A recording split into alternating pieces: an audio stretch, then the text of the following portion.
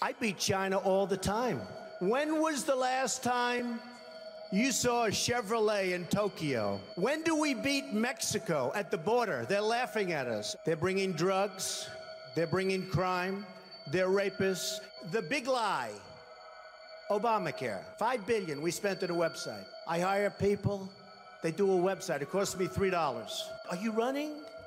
Are you not running? I am officially running for President of the United States. We need a leader that wrote The Art of the Deal. I will be the greatest jobs president that God ever created. Free trade can be wonderful if you have smart people, but we have people that are stupid. I like China. I just sold an apartment for $15 million to somebody from China.